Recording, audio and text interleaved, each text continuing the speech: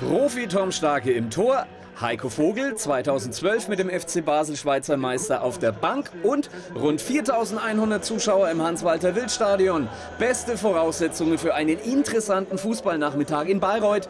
Die eigentliche Schlagzeile gibt's aber nach dem Spiel. Die Altstädter entlassen Trainer Christoph Starke. Kleine Faktoren und der momentane Leistungsstand der Mannschaft seien laut sportlicher Leitung die Gründe für die Freistellung. Die sportliche Bilanz kann es ja auch nicht sein. An der gibt's in den vergangenen beiden Jahren nichts auszusetzen. Und auch wenn Überraschung gegen die Bayern ausbleibt, der große FCB dürfte für die wenigsten Teams in der Regionalliga ein Maßstab sein, sagt auch Christoph Starke nach der 1:3 Niederlage selbst. Da ist er noch Trainer der Bayreuther. Gegen die Bayern haben die Altstädter zunächst mal viel Respekt. In der Anfangsviertelstunde haben die Gäste so viel Raum, ihre spielerische Klasse voll zur Geltung zu bringen. Erdal Öztürk sieht Marco Hingerl völlig frei am zweiten Pfosten. Glück für Bayreuth, dass der zu lange für den Abschluss braucht.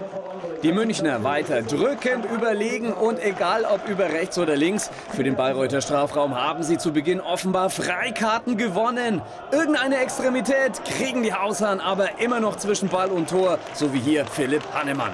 Die Jungs von Eishockey-Zweitligist EHC Bayreuth sehen es mit Wohlwollen. Die Altstädter können die Räume nach und nach für die Bayern immer enger machen und sogar offensiv trauen sie sich was. Christian Böhnlein mit schönem Volley.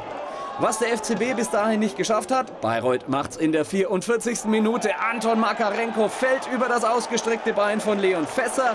Nicht nur für den Bamberger Bundesliga-Schiedsrichter Benjamin Brandt ein klarer Strafstoß. Der Gefaulte tritt selbst an. 1 zu 0 für die Spielvereinigung. Zur Halbzeitpause ist die Welt noch in Ordnung. Fünf Minuten nach Wiederanpfiff stellen die Bayern aber wieder alles auf Anfang. Kurz geschaut, ob Bayreuth beim Freistoß auf Abseits spielt. Dann kommt der Ball genau in die gefährliche Zone auf Patrick Buchegger. Der 1:1 Ausgleich. Aber die Altstädter protestieren vehement. Neuzugang Michael Krämer soll gefault worden sein. Der Ball kommt rein und äh, ich kriege da irgendwie einen Stoß oder werde gehalten von der Seite. Ist, äh, und äh, genau mein Gegenspieler, glaube ich, war es, der dann auch das Tor macht. Sonst äh, kläre ich wahrscheinlich den Ball und äh, passiert nichts. So aber zählt der Treffer. In die Verunsicherung der ersten 15 Minuten fallen die Bayreuther trotzdem nicht zurück. Letztlich ist es dann eine kollektive Unaufmerksamkeit, die das Spiel zugunsten der Bayern entscheidet. Eine ziemlich absehbare Kombination endet bei Karl-Heinz Lappe. 2 zu 1 für den FCB. Ein Unentschieden wäre dennoch drin gewesen. Sebastian Glasner an den Pfosten. Den berühmten Bayern-Dusel gibt's halt auch im Kleinformat. Verständlicherweise setzt Bayreuth in den Schlussminuten alles auf eine Karte. Mit anderen Worten, München hat Platz zum Kontern. Raphael Obermeier frisch eingewechselt mit dem 3 zu 1 Schlusspunkt in der Nachspielzeit. Heiko Vogel natürlich zufrieden. Für Christoph Starke ist es das letzte Spiel als Bayreuther Trainer. Schon diese Woche soll sein Nachfolger präsentiert werden.